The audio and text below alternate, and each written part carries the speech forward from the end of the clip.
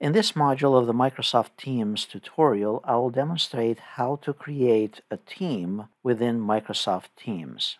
Once we are signed into Microsoft Teams, on the left-hand side we have the Teams module. This is the core functionality of Microsoft Teams. It's designed so you can create a group or a workspace for a bunch of individuals to collaborate and keep track of all their communications for that project or bunch of projects. Once we selected teams, now we have two options. We can create a team or join an existing team that someone else has created. In the case of an organization where there are many teams, you can also search for teams on the search box up here on the top right. To create a team, we simply click on Create Team and then give it a name. You can give it a description and then select whether you want this team private so that only you can add members or whether you want to make it public and anyone in your organization can join the team. So in this case, I want to make this a private team and then I click on Next. Next, we need to add the members to the team, and we can search for these members by email or by name or any of those fields. In my case here, this is a live system, so I'm going to use some generic accounts for demonstration purposes only. So I'll pick here the online instructor account, and you get the idea at this point. We are picking from the list of accounts, and then we click on Add. Next, you can specify the permissions for those particular members. So you can make them owner of this team or just a member of the team. Owner obviously would be able to invite additional individuals to the team. Then we click on Close. Go under Teams. Notice we have the distance education team. It currently includes only the three individuals, myself and the other accounts you have the icon for this team and you can change this to have a particular picture for this team. To the right of the name of this team, we have these three dots where you can manage the team members. You can add channels, and I'll go over the channels in a moment. So you can manage the team, you can add new team members, or you can leave the team, edit the team, or get a link to this team and then create tags or even delete the team from here. Right below the name of our team, we have these general options. In Microsoft Teams, there are what's called channels. Let's say you have a team that needs to work on distance education. There are general topics related to distance education, but then we also might need another channel for just to keep the conversation concentrated on course development for distance education. So those would be the separate channels, and I'll create a channel in a moment here. To the right of the this particular team, now these would be the resources related to this team.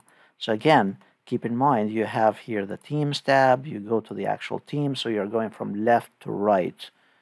And then on the top here, you have the general, you have the post. This would be the various posts where you can post the conversation for the rest of the team members have the files option that the team members are sharing. Then you have the option to add new tabs for your team members.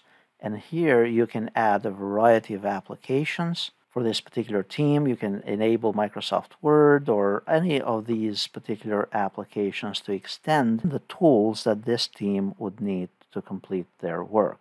To add the task planner, all I have to do is select it and then I'll simply click on Save. So again, the idea is you create a team, you manage the members of the team, then within that team, you create various conversations or discussions. Now, this would be part of the general discussion for this particular team. If I wanted to make a quick post for the rest of the members of this team, so I have the posts area, and then I click here on New Conversation, so you could post a question here for other members of the team. And notice right below this, we also have the formatting options. We could add attachments, various emojis, GIFs, and stickers added to a stream, give a praise to a member. You could have approvals enabled, and a whole bunch of other options that you can integrate as part of your chat. To post this, we simply press send, and now this has been posted for all the members of this team. If I wanted to mention only a particular member of a team, then I could use the at symbol in front of their name. One of the nice features of using the conversation mode, the chat mode within the team is that you can actually modify, once you send a message, you can further modify that message even after sending it. So let's say I send this and I want to edit it. I can go to the top right of this particular message and then click on the three dots here for, for more options. Then click on edit and then tag someone else and then hit enter. And on the recipient's end, this will be updated. To add a file attachment as part of the post, type the message and then attach a file. We can attach a file by browsing Microsoft Teams, going to our recent files, or going to OneDrive, or simply upload the file from this computer. We navigate the file, we click on Open, and then press Send or hit Enter. Anytime we use files, any of the files that we have throughout our conversation, as collaboration within the team, all of those files are going to be also stored under the files option here next to general.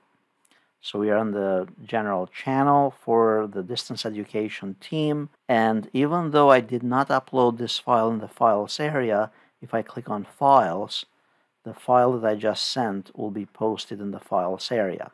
So this is a really great feature that Microsoft is aggregating all the files throughout the conversations and embedding them as part of the documents area. From here, we could further edit this file by double clicking on it or download the file, share a link to it, or add a link to OneDrive and so on. Since I added the Tasks module earlier, we can click here on the Tasks tab and this was an add-on application. And from here, I could create a new task. For example, I can set a, a due date and assign this to one of the members of the team.